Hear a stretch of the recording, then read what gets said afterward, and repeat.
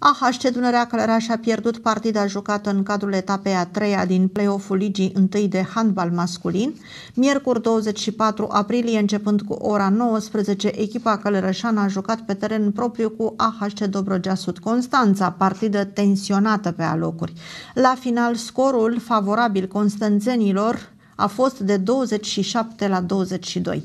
Dunărea va juca următoarea partidă acasă pe 2 mai, începând cu ora 19, cu CSM București.